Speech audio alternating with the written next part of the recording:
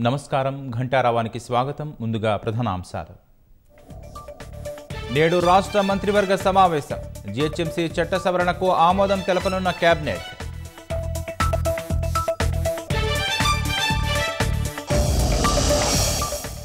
రసవత్తరంగా మారుతున్న దుబ్బాక ఉపపోరు మూడు ప్రధాన పార్టీలకు తప్పని అసమ్మతి సెగలు.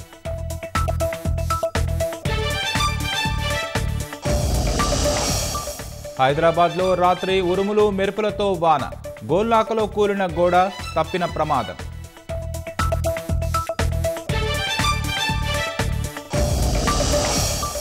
జమ్మూ కశ్మీర్ కుల్గాం జిల్లాలో ఎదురు కాల్పులు. ఇద్దరు ఉగ్రవాదులను హతమార్చిన జవాన్లు.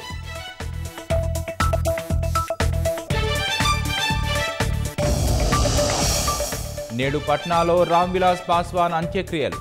గంగానది ఒడ్డున దిఘా ఘాట్లో ఏర్పాట్లు.